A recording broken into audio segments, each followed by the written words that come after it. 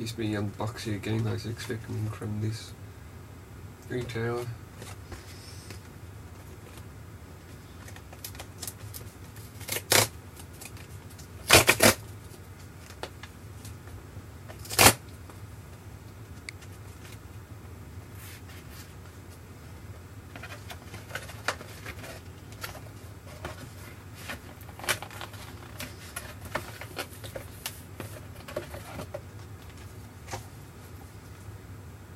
Here it is. Thank you for watching.